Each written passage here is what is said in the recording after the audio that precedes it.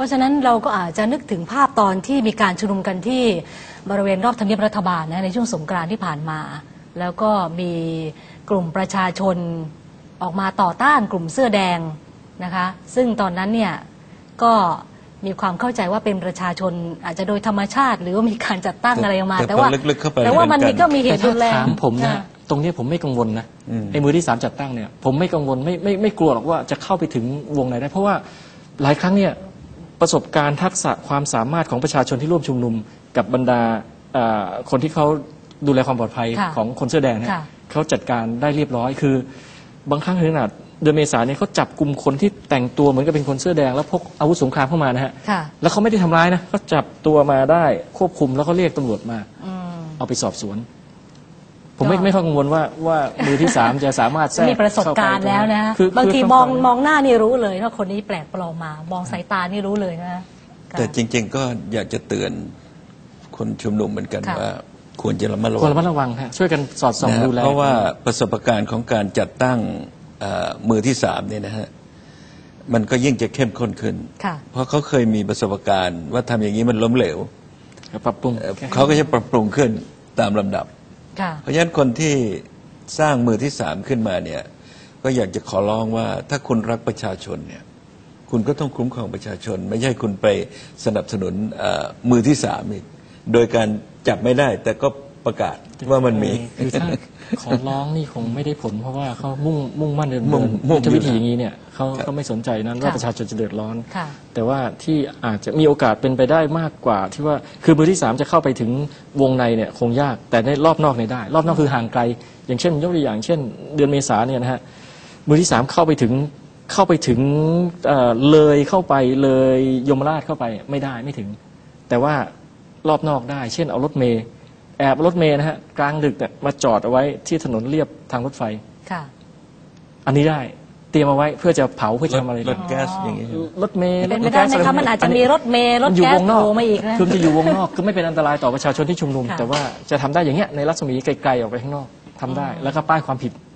อย่างเงี้ยได้ อย่างนี้ค่ะมีโอกาสมีโอกาสบ้างพอสมควรค่ะแต่ว่าก็อย่างที่เรียนเมื่อสักครู่นี้เป็นหน้าที่รัฐบาลที่จะต้องมีอย่างนี้ปุ๊บต้องจัดการเคลียร์อืมเพราะว่าไม่ได้ คนเสื้อแดงเขาไม่ใช่แล้วนี่รัฐบาลยอมรับเองนี่ว่าเป็นเรื่องของมือที่สามค่ะก็มีต้องข่าวจัดกรองนะออกมาว่าจะฮะมีมือที่สามเพราะฉะนั้นก็เป็นหน้าที่ที่รัฐบาลก็จะต้องดูแลชี้แล้วก็แจงคุ้มครองนะต้องคุ้มครองฮะค่ะต้องชี้แจงต่อประชาชนว่ามือที่สามเป็นใครอยู่ที่ไหน แล้วก็ต้องไปจัดการมือที่สามซะส่วนประชาชนผู้บริสุทธิ์คุณต้องคุ้มครอง และโดยเฉพาะอย่างยิ่งที่เขากำลังจะชุมนุมเนี่ยคุณต้องให้ค่ะโอกาสเขาเข้าไปชุมนุม คุณต้องอำนวยความสะดวกต้องคุ้มครองเขาอืมนะฮะไม่ใช่ปล่อยให้คนประชาชนผู้บริสุทธิ์ มาถูกมือที่สามของคุณเนี่ยทำลายเขาครับทำลายเขาแล้วคุณก็ใช้เหตุการณ์แบบนี้มาประกาศค่ะนะฮะเพราะฉะนั้นตรงนี้แบบถ้าสรุปสั้นๆ คือการการบังคับใช้พรบความมั่นคงเนี่ยเป้าหมายที่เป็นที่เพ่งเล็งคือใคร คือมือที่สามไม่ใช่ผู้ชุมนุม ผู้ชุมนุมเป็น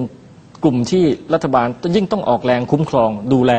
ไม่ให้เรียกว่าไม่ให้ยุงไม่ให้ไตไรไม่ให้ตอมเป็นอันขาดละเพราะว่าเป็นหน้าที่ของรัฐบาลละแต่จริง ๆ อาจารย์ผมผมผมมองมองว่า นี่คือความคิดปกติของนักวิชาการของของพวกเราอะนะฮะของพวกนักกฎหมายทั้งหลายว่า คุณรู้ว่าจะมีเหตุร้าย คุณว่ารู้ว่ามีผู้ร้าย คุณต้องไปจัดการครับแต่นี้เป้าหมายรัฐบาลจะจัดการคนบริสุทธิ์นะนี่ ขณะเนี้ยที่ประกาศอันนี้ออกมาคือจะมีจัดการผู้ชุมนุม เป็นข้อคอรหาคนประชาชนเขาก็มองตรงนี้อะเขามองตรงนี้ แล้วอาจารย์คิดว่าจริง ๆ แล้วคนทีจะนี้กลัวหรือว่าคนจะออกมาเติมากนิดขึ้น หนึ่งการที่ประชาชนทุกฝ่ายขณะนี้เนี่ยนะมองว่ารัฐบาลกำลังพุ่งเป้าไปที่กลุ่มเสื้อแดง ไปจัดการกับกลุ่มเสื้อแดงจึงประกาศอันนี้ออกมาค่ะ เนี่ยแล้วที่อาจารย์วรพลพูดเดี๋ยวนี้เนี่ย คุณต้องไปจัดการกับมือที่สามไม่ใช่เสื้อแดงอืม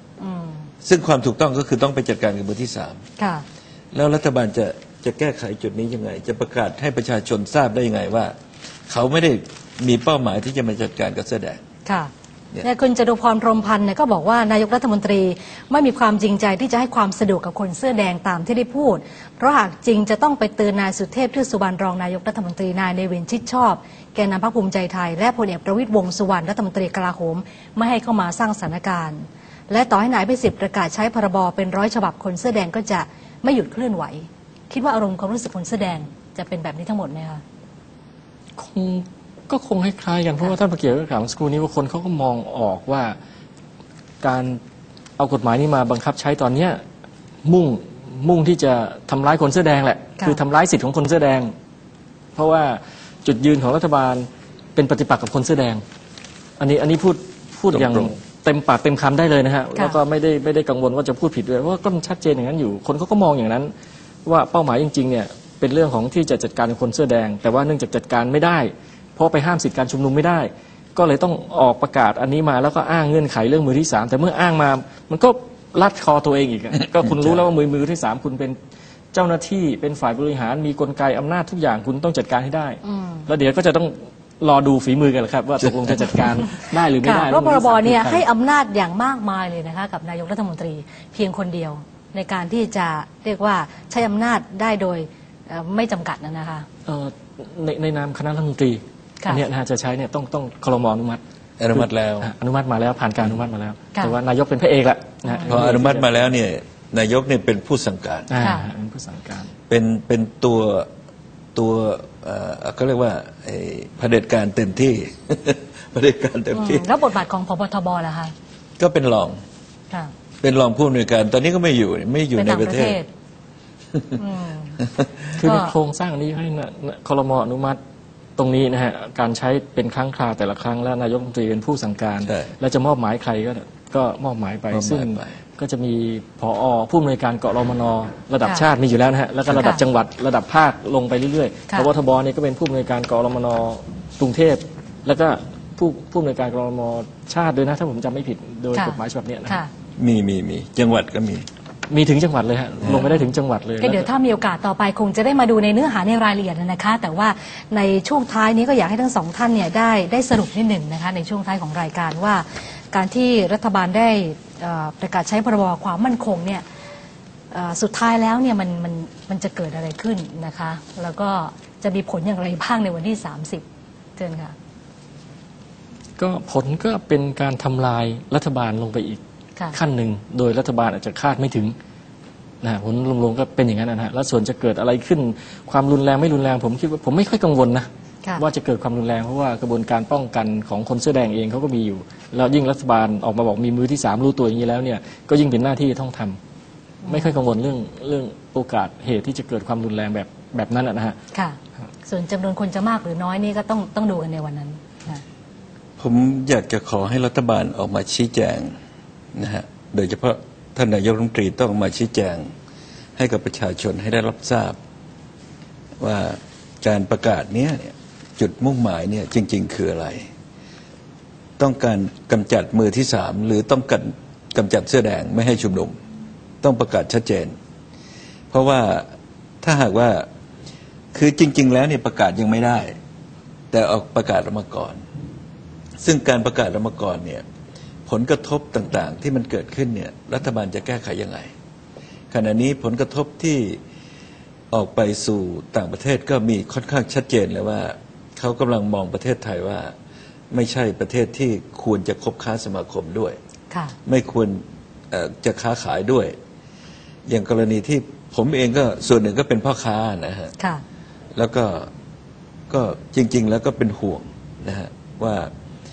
การกระทำของรัฐบาลทุกวันนี้เนี่ยมันเหมือนกับว่าเอ่อไม่ต้องการให้เกิดความสงบในประเทศ ไม่ต้องการให้เกิดความสมานฉันท์แต่ต้องการอยากจะใช้อำนาจ ของตัวเองเพื่อที่จะเอาชนะค้าคารหรือได้ประโยชน์ในส่วนของผู้ที่ใช้อำนาจนั้นค่ะนะฮะโดยตรงซึ่งซึ่งจริง ๆ แล้วนี่มันเป็นเรื่องที่ที่ก็ไม่สมควรจะจะทำอะนะฮะค่ะก็อยากจะให้รัฐบาลเนี่ยประกาศออกมาให้ชัดเจนค่ะเพราะฉะนั้นการที่ออกข่าวบอกว่านักธุรกิจก็ดีนักลงทุนก็ดี จะได้มีความเชื่อมั่นมากขึ้นในความปลอดภัยนะไม่คะใช่ในทางกลับกันอาจจะทำให้เศรษฐกิจแย่ลงไปมากกว่าเดิมอีกแย่ลงไปค่ะ แล้วที่ประกาศเมื่อเช้านี่ว่า โอ้ ตลาดหุ้นเนี่ยนะ